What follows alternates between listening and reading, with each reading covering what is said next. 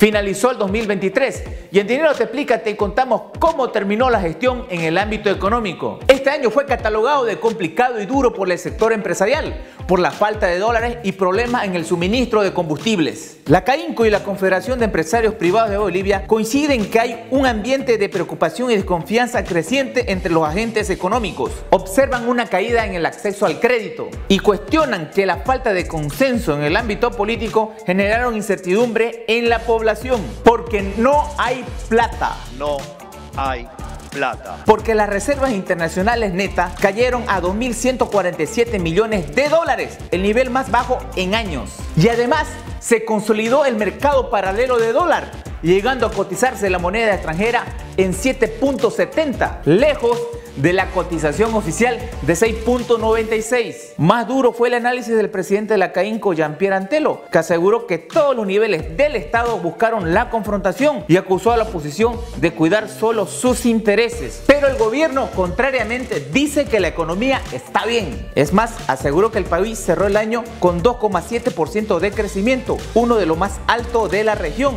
y con una inflación de 1,5%. No obstante, un informe de la Organización Internacional del Trabajo señala que en Bolivia se agudiza el fenómeno del trabajador pobre. Es decir, que pese a trabajar, las personas no mejoran sus ingresos. Sin embargo, el relato oficialista de una economía sin sobresaltos se mantiene. Vea lo que dice nuestro presidente.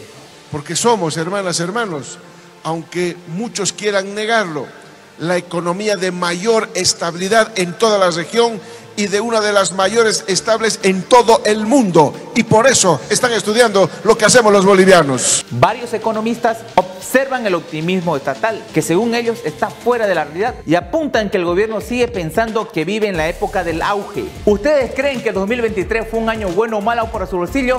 Déjanos tu comentario y síguenos en todas nuestras redes sociales.